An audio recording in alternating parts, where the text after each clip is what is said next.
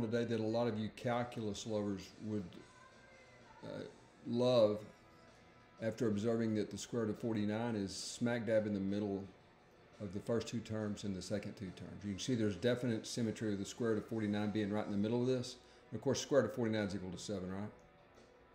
So this looks believable, but you'd have to couple it with the fact that um, the square root function is concave down. The that means the derivative is actually uh, uh, decreasing. So it's going to increase at a slower rate the further you go, and so that would be why it would knock it under 4 times 7. Now that's not a formal proof, so we're going to use another approach here called Cauchy-Schwarz. And I want to talk to you briefly just about the equality condition. Any of you guys who've been through the proof of Cauchy-Schwarz know the equality happens when this happens.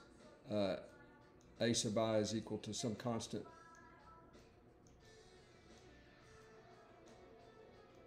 times b sub i. And of course, y'all, if you take a look at this well-known formula here, Cauchy-Schwarz, this is for i equals to uh, 1, 2, to n, right? Now, n is equal to 4 for our problem, okay? So right here, we're, we're, we're taking n to be 4.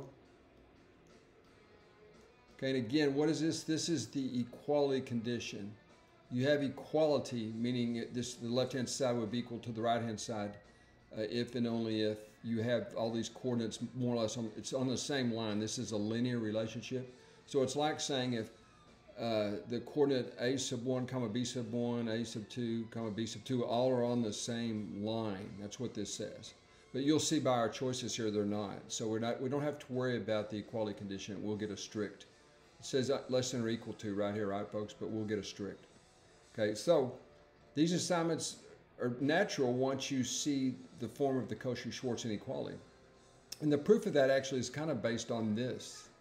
Uh, it's, it's a fun proof. There's a million proofs to, to the Cauchy-Schwarz inequality.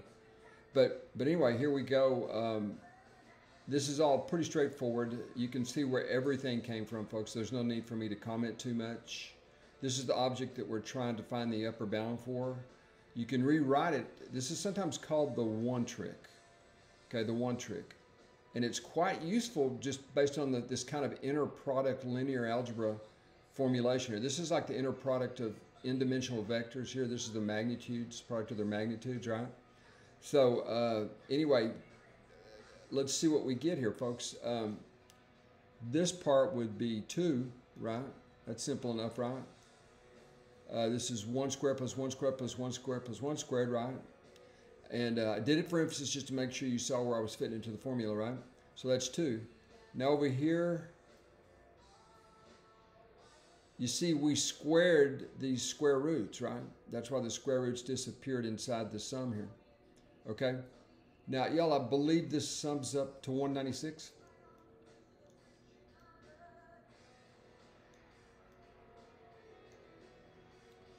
So this is equal to, um,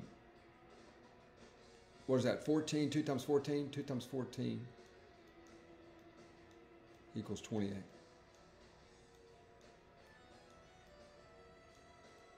And so it's QED time, we've proved it.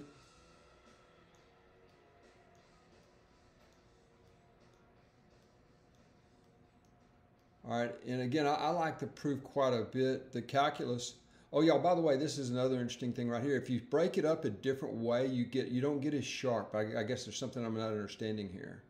Okay? But it, it's it's not nearly as sharp. I'm not sure what's going on with that. Maybe these are more nonlinear, I guess, in some sense. I don't know. But this is a, a possibility just to try it like this. Some of you may be curious.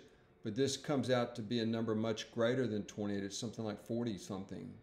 Okay, so it still proves it, but it's not very, con- you know. Uh, but anyway, this is a, a, sharper lower bound. In fact, I think 28 is the uh, least integer with this property. Okay.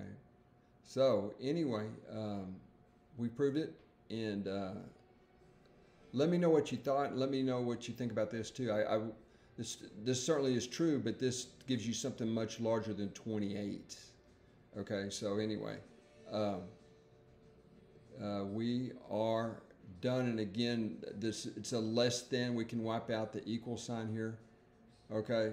Uh, because of the aforementioned, these guys don't. Th- these are not points on the same line. If you if you coordinate coordinatize it, right? You, I mean, it's clear, right, that one comma square root of forty-four and one uh, comma square root of forty-five and so on. They wouldn't be points on the same line. They would. There wouldn't be this. The same slope wouldn't exist between any of them, right? So, uh, but any event, that's that's the proof, and uh, hope you enjoyed.